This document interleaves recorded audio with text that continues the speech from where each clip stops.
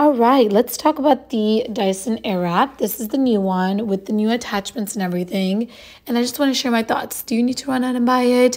Do I think it's worth it? All of that. So yes, I absolutely love the Dyson Airwrap and I do think it's worth it.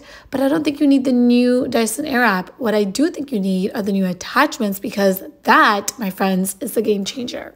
So unlike the original long barrel, where you had to switch out the barrel depending on whichever direction you wanted to curl your hair. Now you guys can see I'm using the same barrel and just switching out the direction with the same barrel, which is so, such a game changer. And I also have the long barrel attachment, which makes it so easy and quick to curl my very long hair. I love the new attachments and I definitely, definitely think those are worth it. And you can also use the new attachments with the old machine, the original machine. So those are my quick thoughts. I love this product.